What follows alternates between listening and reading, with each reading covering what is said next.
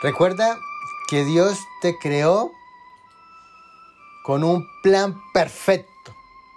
Él tiene grandes propósitos contigo y los lleva a cabo por encima de cualquier persona y de cualquier circunstancia. No tienes de qué preocuparte si buscas a Dios con todo tu corazón. No habrá quien pueda seducirte a hacer algo contrario a su voluntad. Bendiciones, pueblo amado de Dios. Le habla aquí su hermano y evangelista Juancho Bonilla. No tiene por qué temer si a diario buscas la presencia de Dios y decides escuchar su voz, obedecer sus mandamientos y abandonarte confiadamente en sus brazos. ¿Quién podrá estar en tu contra si tienes una relación viva y real con tu Padre amado? La respuesta es nadie. Ningún hombre, incluso por grande ministro que sea, tiene la autoridad que Dios tiene sobre tu vida.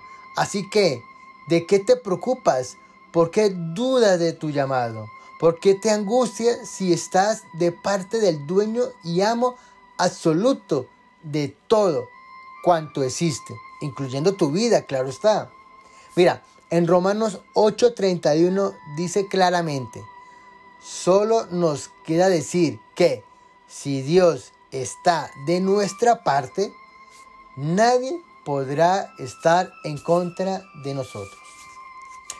Cuando tenemos una relación seria con el Señor, cuando decidimos repudiar el pecado y agradarle a Él en todo, no hay de qué temer. Él mismo se encargará de cumplir sus propósitos en nuestras vidas y llevarnos al logro de los sueños que Él quiere que logremos por Él, en Él y para Él. Así que no hagas caso de la palabra necia, llenas de maldición. Hay muchas personas que están amedrantadas porque un profeta, pastor o ministro de Dios, incluso algún familiar o amigo, profirió una palabra de maldición en su contra. Stop, stop, para, para. ¿A quién le estás creyendo? ¿Acaso son más poderosas las palabras de un hombre que, de, que la del mismo dueño de tu vida? ¿Que la de Dios? No te dejes seducir por las palabras necias, que lo único que pretende es infundir temor y estropear la obra que Dios quiere realizar contigo. Créele al Señor. Confía en el Señor. Él no se arrepiente de sus promesas. Él las cumple y hará una realidad en ti. Solo si tú decides creerle a Dios, ¿no? Dios nunca maldice a quienes de corazón sincero y apasionado lo buscan. No lo olvides. Y si este es su caso, Dios bendecirá a los que te bendigan y se encargará de los que te maldicen. Génesis 12:3.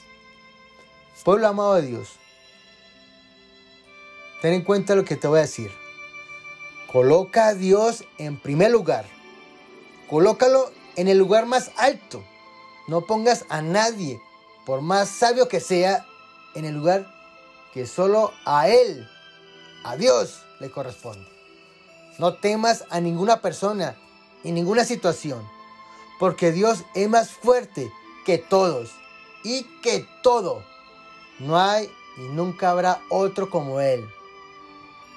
No hay Señor entre los dioses otro como tú, ni hay obra semejante a las tuyas, porque tú eres grande y maravilloso.